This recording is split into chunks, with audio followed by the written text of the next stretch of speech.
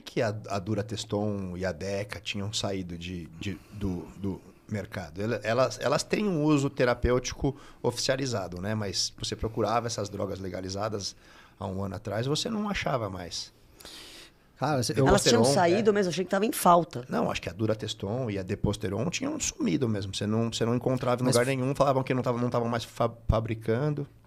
Teve uma questão de mudança de patente do laboratório, né? mudança de laboratório de fabricação, e teve lá alguns problemas eh, com, com os veículos que estavam fabricando. Foi uma coisa mais de produção mesmo, ah, tá. do que propriamente dito alguma proibição. Né? Só para a galera entender, quando a gente tem uma droga no mercado, olha que coisa impressionante, né? Assim, qu quantas moléculas que são estudadas é, que viram de fato uma medicação que vai ser usada em humanos? Você sabe mais ou menos esse número? Eu ouvi o seu outro podcast que você falou sobre isso. 10 mil moléculas a cada 10 mil que você estuda. Então, assim, você tem os estudos que são feitos em bancadas laboratoriais, em modelos animais. Quando os resultados ali são promissores, positivos, a gente passa, a gente chama essa fase de pré-clínica. Uhum. Aí você passa para a fase clínica, que são a fase de estudos em humanos.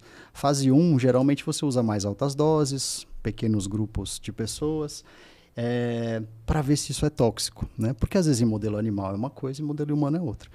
E aí a fase 2 desses estudos, que seria uma progressão, seria eu comparar 1 miligrama com 3 miligramas, 2,5 com 5, porque se eu consigo a mesma, efetiv a mesma eficácia, né, com, com uma, uma dosagem menor, menor uhum. eu não uhum. preciso dar uma dose maior, né? E até para ver proporcionalidade de efeitos colaterais, enfim. A fase 3 é uma fase que a gente brinca que joga no mundão o medicamento, né? E aí você tem o mapeamento, a tentativa de ver outros efeitos clínicos e outras aplicações clínicas que essa medicação pode ter, ou comparativos com outras medicações similares que tem no mercado. Né? E, por exemplo, né, o caso famoso é do, do Viagra, né, que era uma medicação usada para hipertensão arterial pulmonar. E na fase 3 viram que também os vozinhos ficavam todos animados, né? Ah, foi só no final começou, do rolê todo que viram começou que... a ganhar outra indicação, né?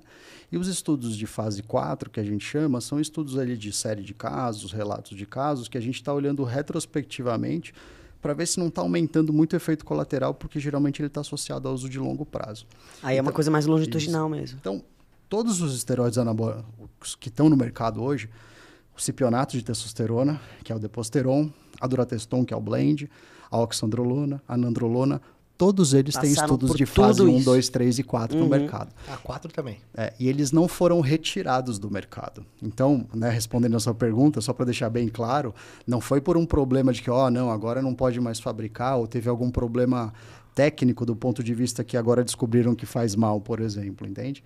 Mas sim um problema mais de produção, um problema mais técnico ali da, da, da questão organizacional, administrativa da empresa, ali, provavelmente. Eu sempre tive uma dúvida se esses estudos que você está falando, eles se restringem a, ao meio terapêutico ou se realmente vai usar com atleta, com um grupo, algum grupo específico que procura alto rendimento. Como é, e se tem uma coisa ética também, né, que, que entra aí.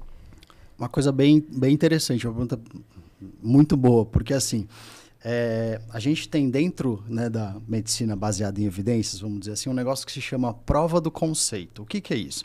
Eu desenhei um estudo com uma metodologia boa para eu provar que aquilo ali acontece. Né? O pesquisador parte do princípio que isso aqui é igual. A coca e a água são iguais.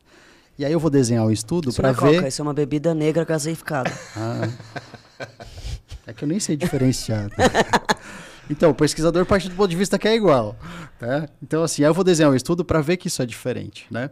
Então, eu provei um conceito ali, né? um estudo placebo, controlado.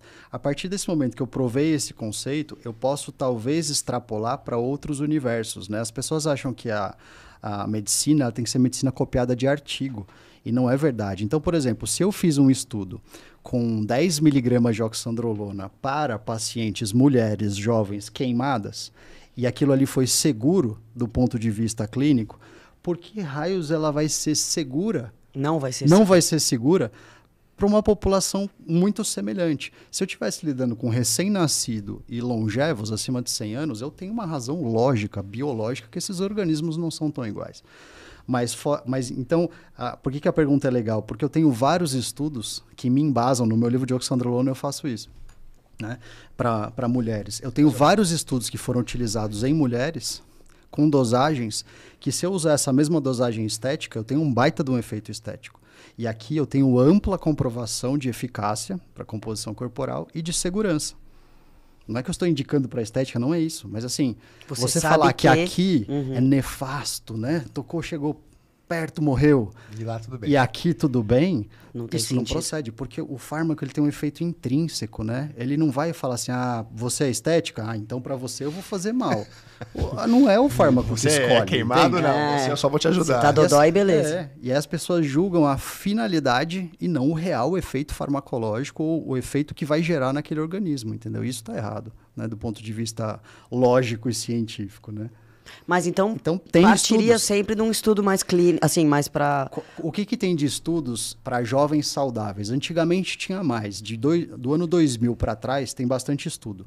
Né? Então, por exemplo, eu tenho um estudo com 600 miligramas de enantato por semana. São seis vezes a dose terapêutica. Eu tenho estudo com 400, estudo com 500, medindo várias coisas, e com jovens saudáveis. E isso foi aprovado por comitê de ética. Então, essa questão ah, não é ético. Eu falo, e- e é- é um negócio meio, meio Calma, etéreo, não é assim, não é né? coisa um negócio fácil, que tem né? umas nuvens, assim, para a gente poder avaliar o que, que é ético eh, e o que, que não é ético. Mas eu tenho sim esses estudos. O que, que acontece? É, não, é, não traduz a, a exata realidade da prática. Por quê? Porque aqui é um ambiente controlado, aqui é um ambiente que eles estão usando. Qual é a diferença entre os grupos? O enantato, Não tem mais coisa no não rolê. tem mais coisa no Uhum. rolê. Né? É, e é uma medicação original. Eles têm controle de treino, têm controle dietético, legal, e feito por tanto tempo, com exames a cada tanto tempo, que se assemelha muito mais ao que se faz na prática do consultório. Né?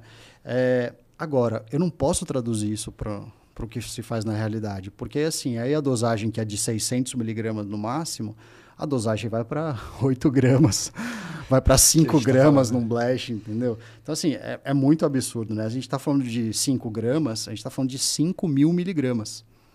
São 50 vezes a dose terapêutica. Quando eu estou falando de 600... Tô falando de caras que são opens, assim, bodybuilding. Quando eu tô falando de grandes 600, são seis vezes a dose terapêutica, né? E, e uma coisa que é impressionante do esteroide anabólico, eu falo, essa praga é tão, tão boa e segura, vamos dizer assim, né? Na brincadeira, que você toma seis vezes a quantidade e, e esse cara não vai morrer. Agora, experimenta tomar seis vezes a dose de insulina, seis vezes a dose de um hipoglicemiante oral, né? Um medicamento para diabetes, seis doses anti, do antipertensivo. Cara, vai ser muito ruim. Do hormônio de tireoide, por exemplo, né?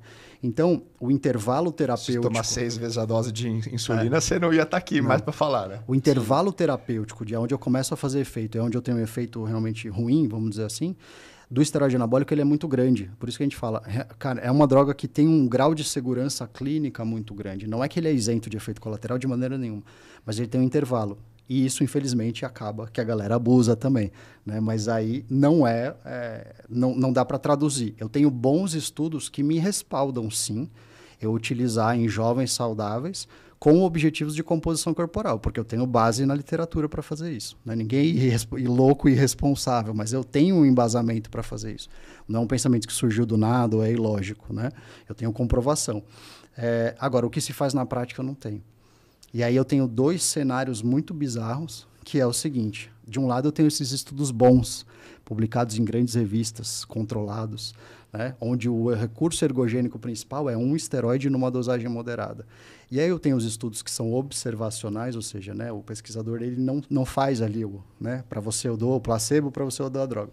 Esses estudos que eu só vou acompanhando. Só que eles estão olhando para um cenário que tem testo em dose altíssima, medicamento do mercado paralelo, ausência completa de acompanhamento, é, um monte de outras coisas associadas, abuso de outras drogas lícitas e ilícitas. Então eu estou olhando para um cenário meio caótico e as pessoas, né, é que nem você jogar no, no búzios ali e falar, ah, foi o esteroide que fez isso. Não, gente, tem, não dá para saber exatamente. O que eu consigo afirmar com esse tipo de estudo é esse rolê aqui não dá certo.